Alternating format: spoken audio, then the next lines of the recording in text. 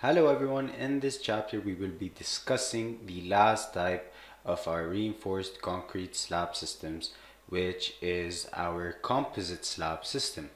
Now when it comes to our composite slab systems you have kind of a special case happening here where your reinforced concrete slab is actually supported by steel beams rather than it being supported by reinforced concrete beams.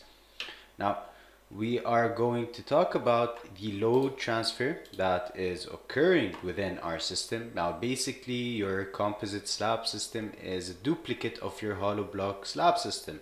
If you remember when you're with our hollow block slab system we had a topping slab which was supported on our ribs and your ribs were supported on secondary beams, your secondary beams were supported on main beams and your main beams were supported on columns it is kind of the same concept here.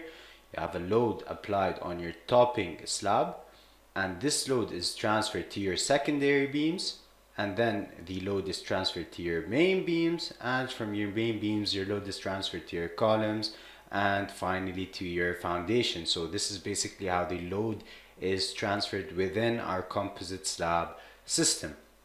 Now a main advantage of this slab system one of its biggest advantages is that instead of considering the inertia here uh, being the inertia of your steel section what's happening is that we are using steel uh, or shear studs in order to control the composite action occurring between our reinforced concrete slab and our steel beams.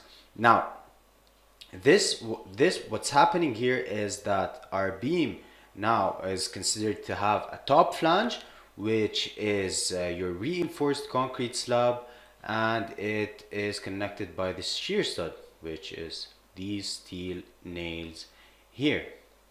Now what are your structural components in your composite slab system? We talked about them right now briefly. You have your reinforced concrete slab, you have your steel beams, main and secondary beams, and finally you have steel columns or you can have reinforced concrete columns or reinforced concrete walls.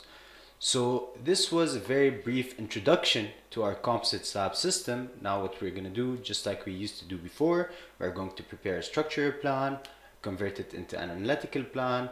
Then we are going to start uh, our modeling using our structure software which will not be safe in this case. We are going to use ETABS the reason for that is that ETABS has built-in uh, information, has built-in information for composite slab systems, which CSI Safe does not have. So just in this case here, we will be using ETABS.